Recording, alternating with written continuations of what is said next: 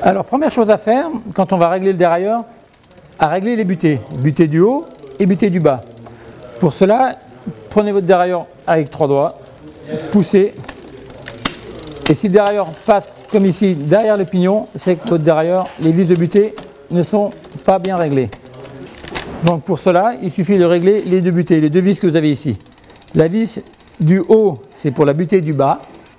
Et la vis du bas, c'est pour la butée du haut. Ça, pour un Shimano. Pour le Campagnolo et le SRAM, c'est l'inverse. Donc on prend un tournevis, on vient faire un tour ou un demi-tour suivant le réglage à effectuer.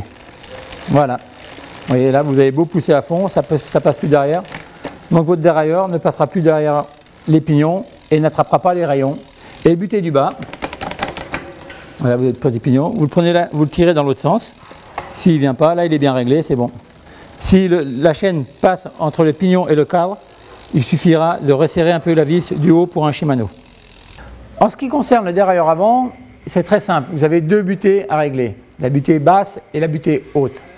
Si votre chaîne touche à l'intérieur, il faudra régler la butée basse, la desserrer. Si votre chaîne passe à l'extérieur des plateaux, tombe à l'extérieur, il faudra régler la butée haute, il faudra la resserrer.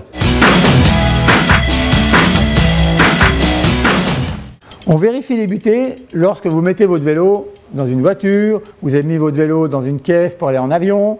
Donc là, il risque de se passer que la patte du cadre se déforme, se torde.